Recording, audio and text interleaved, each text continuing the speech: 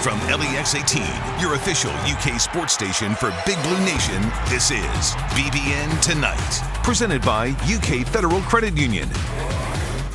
Welcome to BBN Tonight. I'm Anna Tarullo. And I'm Maggie Davis in for Keith Farmer tonight. Great show lined up for you this evening. Tons of NFL draft coverage coming your way. That's right. You'll hear from several of the Cats who heard their name called over the weekend. And Tom Leach is also going to be joining us in just a little bit. That's right. But let's get right into it. Four Wildcats drafted over the weekend. Five more signed free agent deals. So a good weekend overall for those men, but also for Mark Stoops and the Kentucky football program as a whole. That's going to be tonight's Big Blue story presented by CHI St. Joseph Health.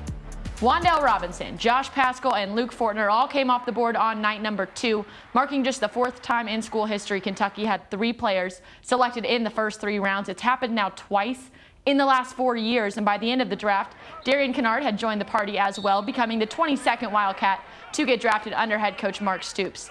As the SEC Network's Peter Burns noted, UK had more players selected in the first 65 picks than Ohio State, Clemson, Florida, USC, Texas, and Oklahoma. And ESPN's Adam Rittenberg said Kentucky is, quote, rapidly becoming a program like Iowa, Utah, and Wisconsin, outperforming the recruiting rankings on NFL draft weekend. Really high praise there from them. Oh, I saw that Peter Burns tweet and I was like, yes, yeah. that was awesome.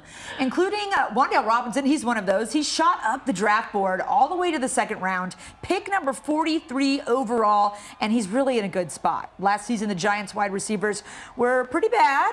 Now, almost all their guys dealt with injuries, but availability, that's still the best ability. New coach Brian Daboll is known known for using guys with unique skill sets successfully, so New York could be a really fun spot for Wan'Dale with a lot of opportunity.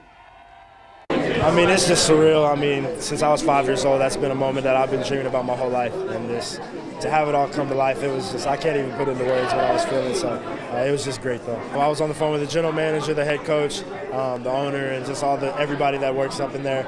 Um, and just they were just letting me know that they were impressed with everything that I did through the process. And um, they're just happy to have me, and I'm happy to go to New York. So, I mean, nobody can really think that you're going to come off Western Hills High School field and be a second round draft pick. So um, just for me to do it, it just shows a lot of kids that you can come out of anywhere and do whatever you need to do. So. Love that for Wan'Dale, and I just love his story that he came back here from Nebraska and what he proved on the field this season. Obviously, it was enough and it was a lot. Absolutely. And Kentucky fans, the good news here, they didn't have to wait too long because no. Josh Paschal came off the board just a couple of picks later. And the good news here is he is heading to Detroit. He already talked to the media there. He talked about what he could bring to this franchise. Listen to this. I actually had my um, a formal interview at the combine with them. So I met Dan Campbell, um, Coach Wash, uh, Coach Glenn. I met them all there.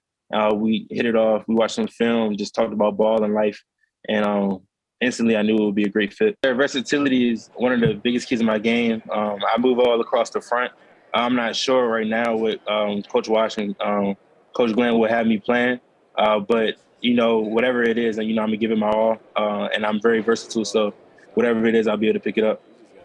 Yeah, versatility has been a huge aspect of Josh Paschal's game his entire time at Kentucky. Now we're going to see how that translates to the league. I know the head coach, Dan Campbell, is going to absolutely love Josh Paschal, and I think the fan base is going to feel the same way, Anna. Completely agree. Who doesn't love Josh Paschal? Right. They'd be crazy Sad not to see him go. yes. Next off the board was Luke Fortner. The Jacksonville Jaguars selected him with the 65th pick in the draft. He could be a starter day one. The Jags drafted Fortner here with the expectation that he is going to be their center. Jags head coach Doug Pederson says he could see a little time at guard to get him comfortable, but they drafted him to play center. No real competition currently on that roster either. Longtime backup Tyler Shatley is there, but this is going to be Luke's job as long as he shows he can handle it. I think I am. Uh, you know, it's obviously going to be a, a tall task and a tough job, and there's going to be some tough times, some ups and downs, but I think I'm prepared. I think I'm ready to handle it, and I'm excited. Looking forward to it.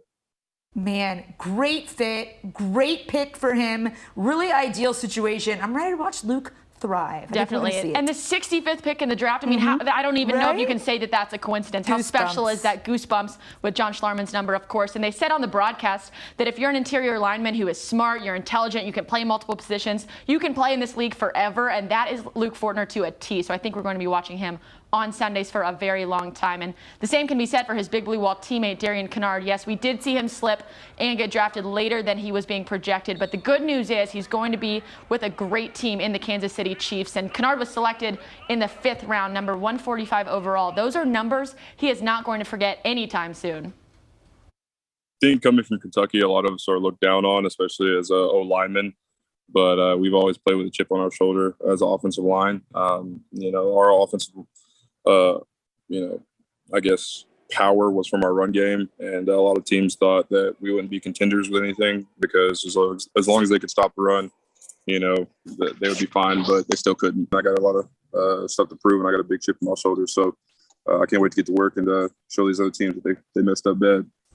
So Kinnard definitely has more roster competition here than some others. The Chiefs starters are obviously pretty solid, but they don't have the depth really that they're looking for anywhere on the line. So Kinnard should have opportunity at both guard and right tackle and give the Chiefs some versatility they didn't have before.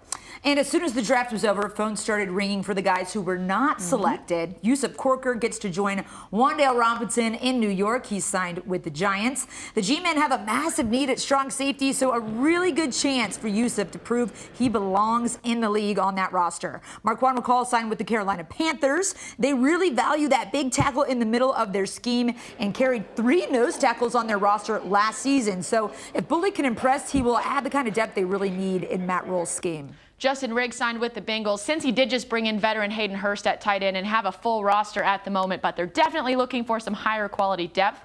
Rigg will be looking to provide just that. And Dare Rosenthal has landed in Atlanta with the Falcons. He'll have to do some work to make the rotation, but Atlanta's tackles were middle of the pack at best last season. I'll say it surprised me and I think a lot of people to see Dare not get drafted, but excited that he still gets this opportunity. Absolutely. It definitely surprised me. Quandre Mosley, he's getting a chance with the Dallas Cowboys. They've got a full roster currently but All Pro Trevon Diggs is the only position solidified for them. And last year's second round pick, former Wildcat Kelvin Joseph's status is in question because of his alleged involvement in a drive by murder. He has not been charged with anything. The Cowboys did draft another corner in the fifth round as well. All right, coming up next, we'll get Tom Leach's take on all of this. That's right, including what he thinks about all these big blue reunions. You're watching BBN tonight. We'll be right back.